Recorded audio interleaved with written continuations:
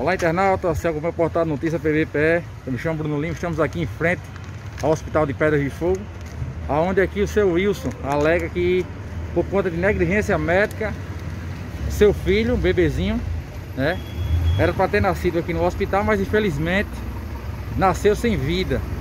Ele conta que vai falar para vocês como foi que aconteceu. Seu Wilson, pode ficar à vontade, seu Wilson é pessoal, cheguei aqui no hospital na falta de 9 horas e 24 minutos com a minha esposa para ter menino. Ela já tinha estourado a bolsa. Aí entrou para a sala de quarto. Passou uma hora e meia. O médico em cima dela, mas uma enfermeira lá. É, a criança ficou, ficou só com a cabeça fora e ele tentando puxar. Não teve coragem, vendo ele que não tinha condição da criança passar, não teve coragem de, de fazer, de fazer uma, uma cirurgia, não teve coragem de cortar, não teve coragem de nada. Passou uma hora e meia nessa, nessa peleja. A mulher gritando, sentindo dor, sofrendo, e essa criança com a cabeça fora, eles não tiveram coragem de fazer nada. Foi obrigado a chamar outra pessoa, que eu não sei da onde, que chegou a criança já sem vida, que cortou ela e conseguiu tirar a criança, mas já sem vida. Ela passou quanto tempo mais ou menos aí, seu Wilson? Ela passou, ela passou na, na, na faixa, na sala de parto, com ele tentando tirar a criança, ela passou uma hora e meia de relógio. O que foi que os médicos falaram pro senhor aí? O pessoal da equipe médica falou? Falou nada, disseram, vinha dizer a mim, infelizmente a gente fez o que pôde. Ela chegou, deu entrada no hospital hoje pela manhã, aí passou esse, esse tempo todinho, não encaminhado para João Pessoa, nem para Santa Rita, nem para nenhum lugar, né? Nem encaminhou para canto nenhum. A gravidez da sua esposa é uma gravidez de risco, você sabe informar? Normal. Normal? Normal. Ela sempre teve filho normal? Sempre teve normal. Nunca teve filho cesárea não? Não. Tá aí pessoal, é, a gente foi solicitado pelo pai da criança aqui. Estamos aqui em frente ao Hospital de Pedra de Fogo, como vocês podem ver.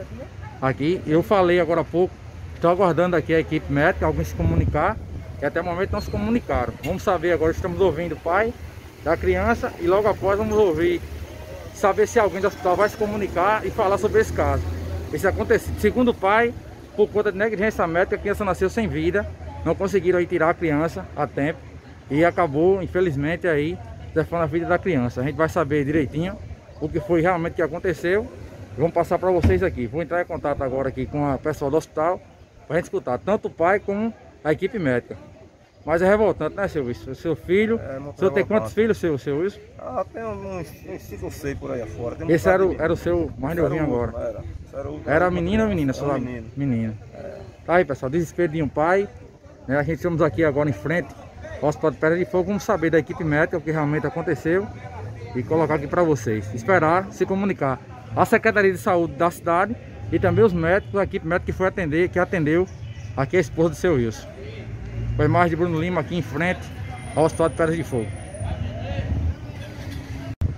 Olá internautas, ainda aqui em frente ao Hospital de Pedra de Fogo. A gente tentou entrar em contato com a equipe do hospital, a diretoria do hospital, os médicos que atenderam a criança a mãe aí com a criança, mas infelizmente ninguém quis comunicar, tá certo?